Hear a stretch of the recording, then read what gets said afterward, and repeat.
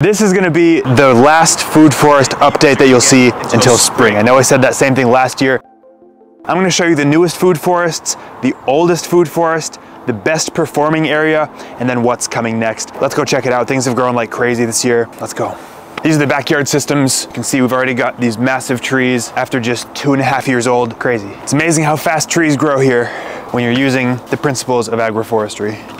This transformation has been crazy. It's been all grass. This whole area, everything you see here was just grass just a few years ago. Now it's this series of diverse food forests, but we're gonna go to the most recently planted area. It was planted about five and a half months ago.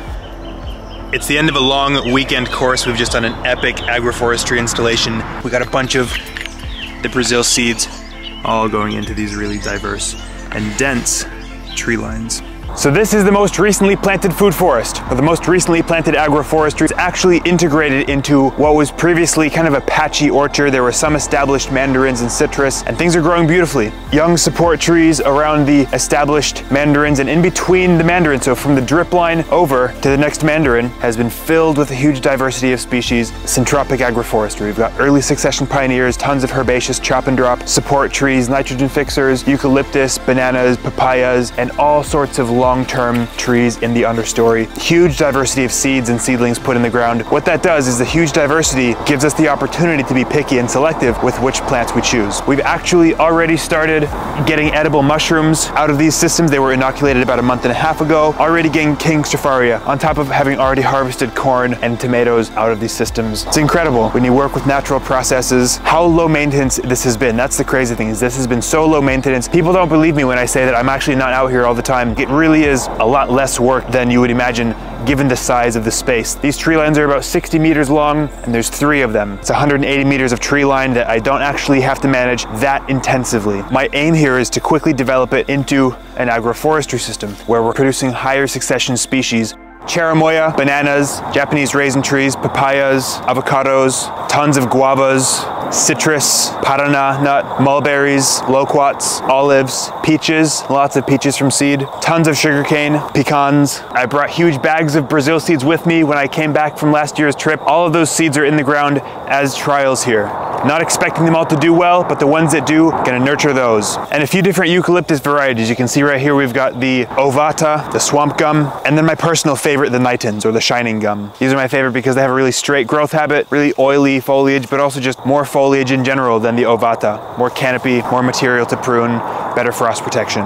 Ooh, check this out. You can see we've got some new mushrooms popping up that we'll go ahead and harvest right now. It's mushrooms for dinner tonight. Should have brought a basket out here. So this is block two. It's really diverse. It's humongously dense. It's the biggest system I've ever installed here. A lot of the propagation material came from the Living Nursery, which is the first block. Most of that propagation material that's been used for this area was sourced from the previous installations. And so start your agroforestry. It turns into a living nursery very, very quickly. And then suddenly you'll have massive systems of food that you don't know what to do with. That's block two. It's crazy seeing the before and after footage here. The transformation's been wild and I can't wait to see how it continues to evolve. You can be sure that in the next few years, you'll keep coming back and seeing this forest just develop, looking more and more like the year three and a half forest, which we're gonna go to next. Makes my heart really happy to see this. I've known for a couple years that block two wanted to get planted and to now see it in the ground, six months old, it just gets me really excited seeing this baby young system, knowing that it's destined for great things.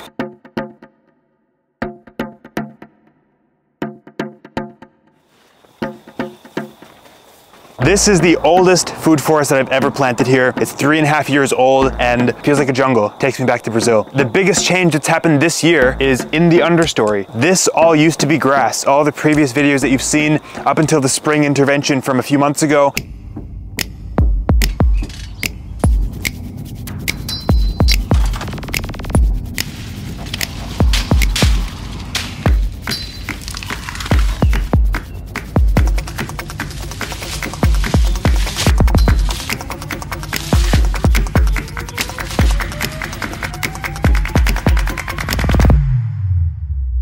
now look, it's just like a big giant ground cover of all these different edible perennial vegetables, coffee, there's Vietnamese mint, Okinawa spinach, taro, miyoga ginger, all these really incredible understory species that love the shade. They're not trying to get the intense sunlight. They love these understory conditions that the forest is now providing because these tree lines are now three and a half years old. These bananas, there's fruiting tamarillos behind us. It actually feels like a forest now. And no doubt it'll continue feeling that way over time. And right here where I'm scraping is actually these wooden log pathways that were laid down in spring when we did the big heavy pruning of the surrounding trees. We laid these wooden log pathways to reduce the compaction. When I have tour groups through here, I only walk them on this track because I know that if I just keep having compaction in the same areas over time, no good. So I walk towards through this wooden pathway, reduce the compaction slowly is being digested by the microbiology, turn into a happy forest.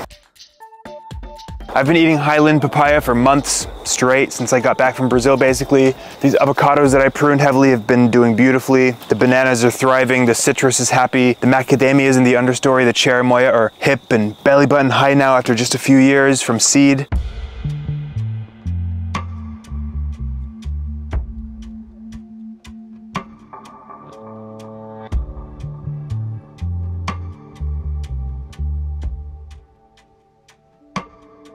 One of the biggest lessons that I got from Brazil was incorporating alley crops in between your tree lines. Now in Brazil, the standard is five meters between tree lines. Here, they're about three to four. As time goes on, I'll probably just continue planting more trees into this alley crop so it becomes more of an organic flow rather than just straight lines as the system develops. Being excited for the future, but also just so happy with where things are at now in the food forest because I remember when three and a half years ago, I was here with a group of people and we were planting this food forest, but it just was this tiny little line of trees in this ocean of grass. And now there's no grass to be seen. There's just beautiful young trees, there's fast growing trees, there's fruit dripping everywhere. It's the most magical thing in the world. Grow food forest. If this doesn't convince you, I don't know what will, because this is such a special feeling to know that this forest is, this forest is just life. Should be called a life forest, not a food forest, because there's more than just food in here. There's, there's all sorts of life. Underground medicines in here. There's resources like wood. It's just such a cool place.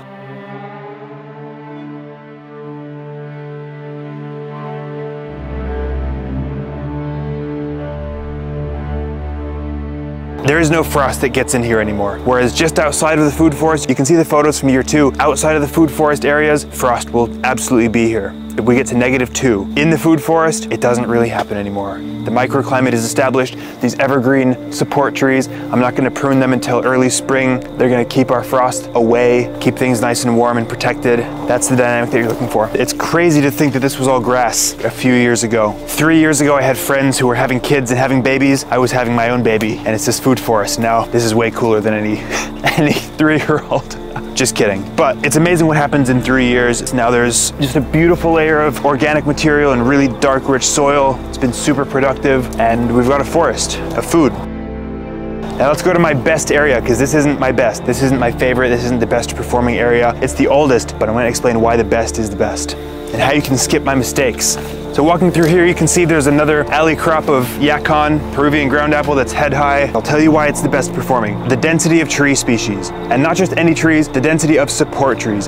This was when I really fixed that mistake that I made in the first year, so I want to pass that mistake on so you don't have to make it. I didn't plant enough support trees in the first year, so when I planted this area, I overcorrected and planted way more than I knew I would need. The benefit is that allowed me the opportunity to prune trees out early. What I originally planted was a support tree every half meter. I would plant a tree lucerne and a eucalyptus, a tree lucerne, a eucalyptus. The tree lucerne are nitrogen fixing, the eucalyptus are a bit longer lived. Both of those produce organic material, cycle nutrients, and build our soil. And so the first mistakes that I made were not planting enough of those species. I included some here and there, but I didn't plant the volume of them. The second year, I was worried about frost and I wanted a frost protection, and so I overplanted them, knowing that I'd have to prune them out early.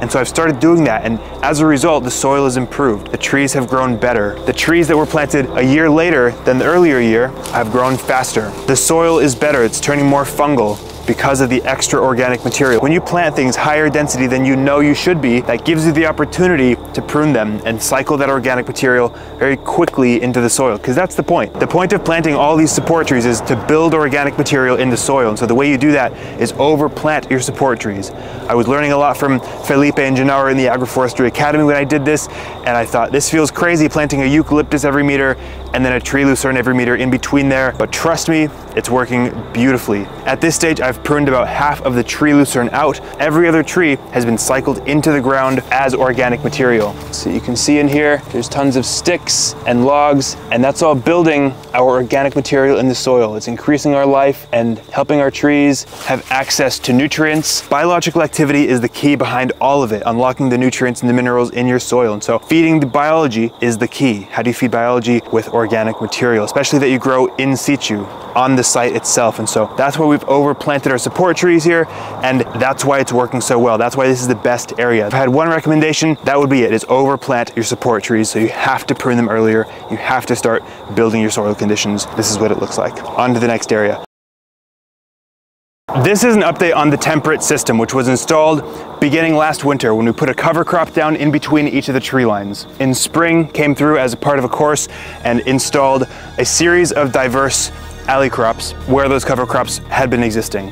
And so now we have a diversity of herbs, berries, and some long to medium term trees planted in these alley crops. The target crop here in the temperate alley crops are American pawpaw. So every half meter, I've planted American pawpaw seedlings. And so ultimately this will have a thicket of berries, herbs, and American pawpaw in the understory between the tree lines of whatever grafted climax fruit trees, nut trees, support trees. We'll see where things go, but so far very happy with the temperate syntropic agroforestry. In this area there's plums, apples, pears, nectarines, peaches, Japanese raisin trees, apricots, walnuts, pecans. Support trees include different kinds of willows, eucalyptus, acacia, and poplar. I like the kawa poplar the best. There's tons of rosemary, sage, lots of berries, huge diversity of raspberries, blueberries, pomegranate, figs, mulberries, a bunch of other stuff that I can't quite think of off the top of my head, but that's most of it. This is the final area that I'm gonna show you and it's what's happening next. These mandarins, these citrus are really old and stagnant. There's lots of disease and they're just not the healthiest. And so knowing what I know now about how agroforestry can improve the health and productivity of these trees, this is gonna be an area where next season, there's some really heavy agroforestry happening here. You can see in this small little patch just here, this was about two years ago. We planted some eucalyptus and a few things from seed, but really low density and very little management. But it's an occupation system. It's an occupation system because that's better than having nothing here. It's better than having just grass. When we come and do our intervention next season, we have a lot of organic material to work with and the conditions have already begun improving even with very little management. It's just an occupation system. The mandarins are still productive here. They taste great. However, there is still a fair amount of disease pressure, wasted space, underutilized potential with how disease riddled these trees are what we know now about how agroforestry can just improve everything about a space. This area is next on the chopping block. Tune in in about six months and you'll see the radical transformation that this undergoes. But it's so great to see the comparison because I'm gonna be able to pull this footage up in another two years when this whole area is just a giant productive forest. We'll be able to see how these trees have become more healthy. These leaves are so unhealthy and small. That's all gonna change very quickly. I mean, that same thing happened out here. In here, we plant the agroforestry, the trees get healthier. And so that's kind of the last block where things are yellow and unhealthy and sick. Life is good in the agroforestry. Check in soon. Costa Rica, Florida, Brazil. It's gonna be crazy. Hope you got something out of this and see you very soon.